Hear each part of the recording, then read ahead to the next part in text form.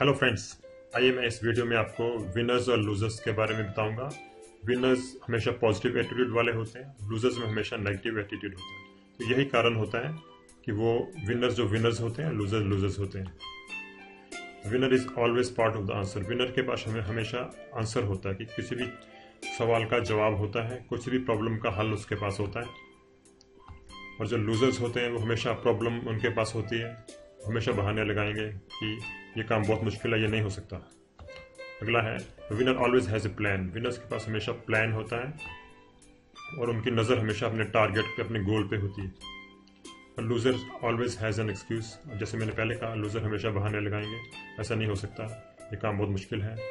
कल आना। Winner says it may be difficult but it is possible तो winners की, जैसे मैंने कहा, उनकी सोच पॉजिटिव होती है, इसलिए कुछ भी काम होता है। कहते हैं कि मे भी मुश्किल है, लेकिन ये हो जाएगा। Loser says it may be possible but it is too difficult तो यही फ़र्क है उनमें नेगेटिव और पॉजिटिव हर चीज़, हर जगह पर उनका नेगेटिव एटीट्यूड शो होता है लूजर्स का। और विनर्स इसीलिए विनर्स होते हैं, क्योंकि उनमें एटीट्यूड पॉजिटिव होता है। हर काम को वो कहते हैं कि हाँ ये हो सकता है। हो सकता है थोड़ी मेहनत करनी पड़ेगी, लेकिन पॉसिबल है।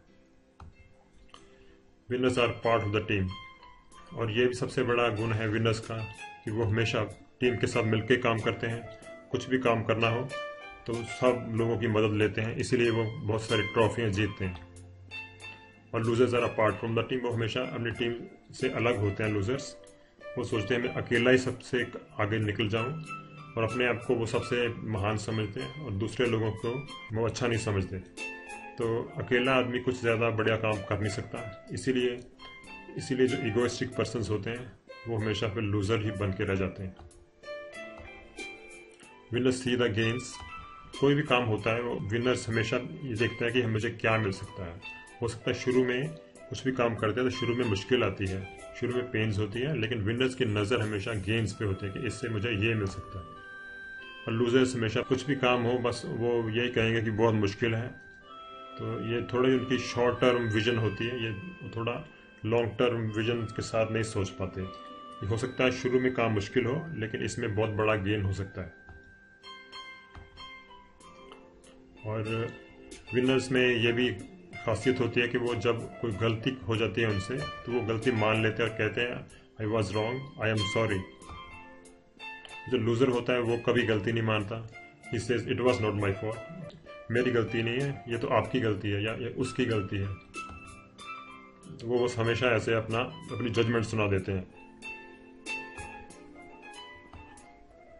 विनर जो होता है, वो हमेशा कमिटमेंट्स करता है तो इसीलिए वो विनर होता है, क्योंकि वो कमिटमेंट बिल्कुल उसमें दृढ़ता से कुछ काम करता है, वो तो ढीलेपन से नहीं करता। जो भी उसने बात कही है, वो करता है। तो इसलिए लोगों को उस पर ट्रस्ट भी होता है। यही उसके सक्सेसफुल होने का कारण भी है। और लूज़र मेक्स प्रपोजल लूज़र जो होता है, बहुत सारे प्रपोजल्स तो देता है।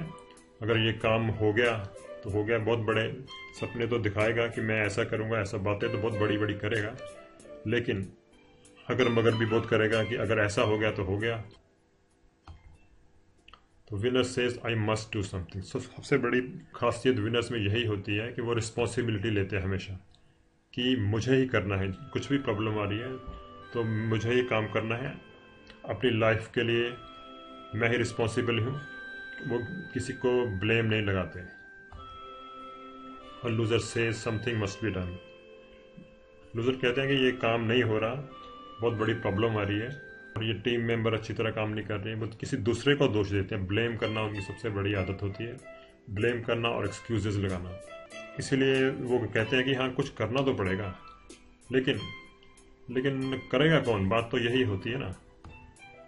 तो हाँ वो ऐसे आइडिया भी बहुत देते हैं कि आइडिया है कि तुम कर लो, तुम कर लो, तुम कर लो, लेकिन वो खुद रिस्पॉन्सिबिलिटी नहीं लाते। इस काम से जी चुराते रहते हैं पॉजिटिव एटीट्यूड का भी दिखावा करेंगे, लेकिन अंदर से वो खोखले होते हैं। तो थैंक यू मैंने इस वीडियो में सिर्फ़ आपको ये बताया कि पॉजिटिव एटीट्यूड सक्सेस के लिए और विनर बनने के लिए बहुत ज़रूरी है। और अगर आप में पॉजिटिव एटीट्यूड नहीं है तो विनर बनना बहुत मुश्किल है। थैंक यू वेरी मच अगले वीडियो में फिर मिलते हैं। Thank you